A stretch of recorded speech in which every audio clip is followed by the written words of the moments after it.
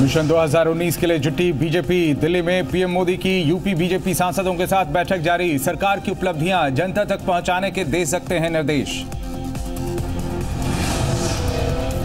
योगी सरकार की स्वच्छता वाली सौगंध आज सभी मंत्री अपने विभाग के अधिकारियों के साथ लेंगे। यूपी को साफ़ सुथरा रखने की शपथ।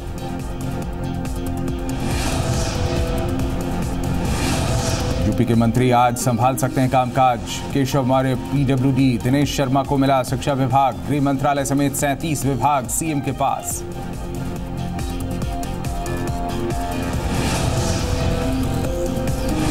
इटावा जेल के सिपाहियों ने जेल अधीक्षक के खिलाफ खोला मोर्चा। धरना देकर जताया विरोध अफसरों की शय पर, कैदियों से जान से मारने की धमकी के आरोप।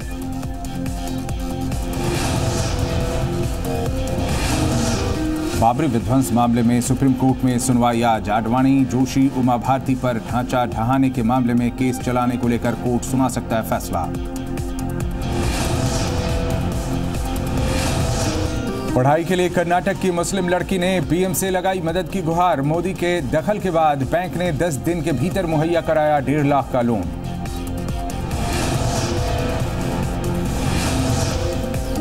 पटना में बिहार दिवस में सरकारी कार्यक्रम में नहीं आए लालू यादव के दोनों बेटे, डिप्टी सीएम तेजस्वी यादव और तेज प्रताप रहे नदारद।